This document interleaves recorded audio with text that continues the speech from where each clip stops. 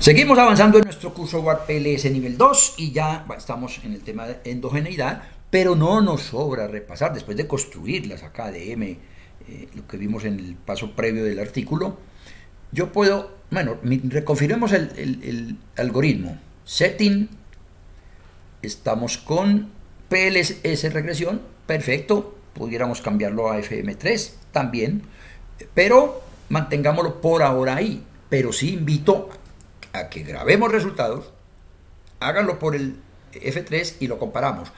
Pero más que la misma comparación de esto que vamos a trabajar acá, de los indicadores generales, perdón, de los indicadores de fiabilidad, es comparar los globales totales, el, tema de el promedio de los, de los R cuadrados, el promedio de los PAT, etcétera. Pero acá como recuerdo también de cosas pasadas que tal vez no se le dio el énfasis eh, suficiente, vamos a mirar el, la salida del PLS consistente del Dixtrax. Esto nos mide igualito las fiabilidades, pues, o al menos es la intención. Pero el Dixtrax tiene, pareciera, pues que ahora lo menciona en la literatura, algunas ventajas. Se plantea que está entre el alfa de Cronbach y la fiabilidad compuesta, que, da más o menos eh, entre esos dos valores debería de. No en, el, no en la mitad, sino entre ellos.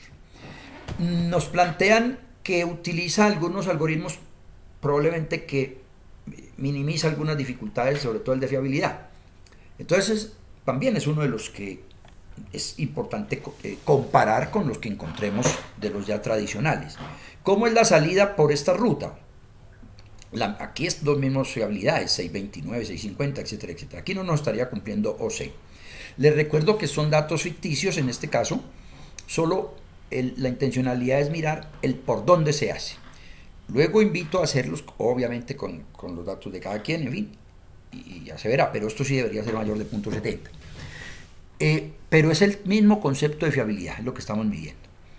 ¿Qué nos da en esta salida? Temas conocidos, pero nos están dando las cargas en cada uno de los factores. Tengo uno negativo que habría que analizarse si en realidad habrá que invertir o no, o eliminarse, y seguramente mejoraría eh, los indicadores.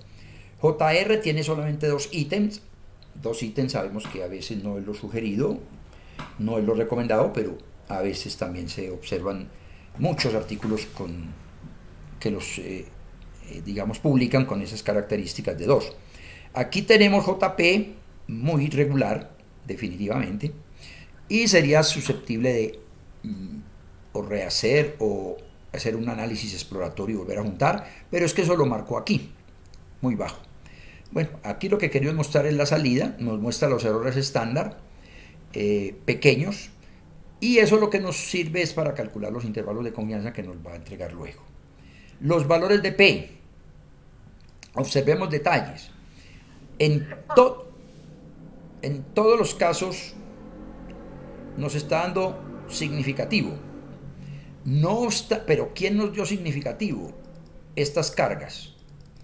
Eso implica que están las cargas de arriba, ¿no?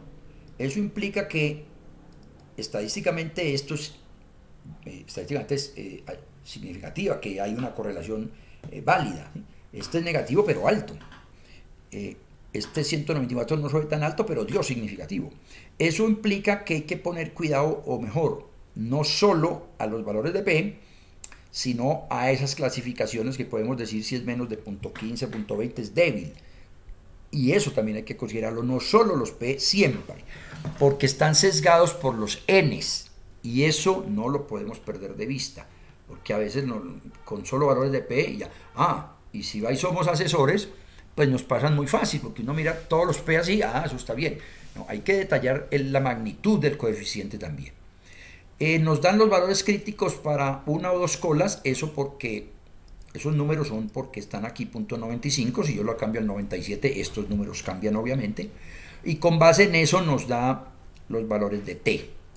Estos son valores de T, donde sabemos bien que si es mayor de 1,96 para, una, dos colas o 1,645, pues son estadísticamente significativos. Y eso no lo está cumpliendo en todo lado. También pudiera subir a punto 99. Y aquí están los intervalos de confianza. Intervalos de confianza, eh, pues cada vez más eh, eh, son más sugeridos. Y esa es otra posibilidad.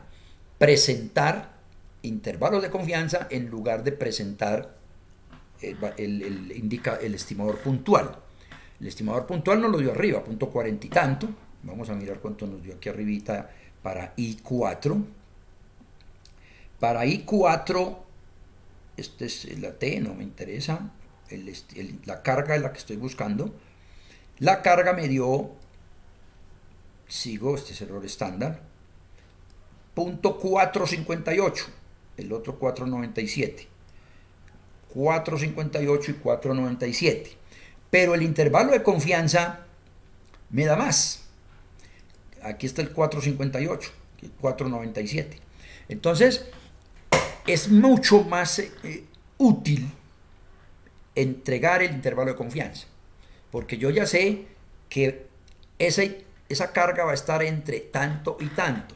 ¿Y qué tal que esta carga la logremos en, X o Y datos, en fin, nos dé .72 a .84, por decir algo.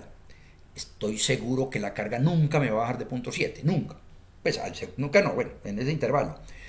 Mm, también es cierto si me da, arriba me pudo haber dado .54, está bien, pero un intervalo de este estilo lo que me está diciendo es que en, que en otras posibles eh, muestras me va a dar bajito. Entonces es bueno que uno ser consciente de ello. Eh, es evidente que el intervalo de confianza, que el límite inferior sea un lindero más alto, punto .60, punto .50 y tanto, me parece que da más confiabilidad, por un lado. Y por el otro, si lográramos intervalos más cerrados, precisos. Es claro que si yo aquí cambio este a punto .90, eh, este intervalo va a disminuir. Va a disminuir porque eh, pues, perdí más confiabilidad, pero entonces los valorcitos me quedan más chiquitos. Aquí quedó intervalo de confianza de punto 30 y punto a punto 60. Entonces, es esa sugerencia también de mirar mucho intervalos de confianza que nos lo permite el distract. Y claro, pues, en la misma tabla uno puede comparar con, con el amigo fiabilidad compuesta y comparar con el Chromebas también, ¿por qué no? Y bueno, hacer una comparación y aportar entonces cuál de esas técnicas, ya se sabe que el distral la están sugiriendo más, pero es mostrar el por qué, si es que nos da, o es mostrar qué tan diferentes están y por qué no en otro tipo de trabajo cambiando los Ns. Bueno, hay miles de cosas que posibilitarían esta situación. Vamos a dejar este acá para crear las variables auxiliares.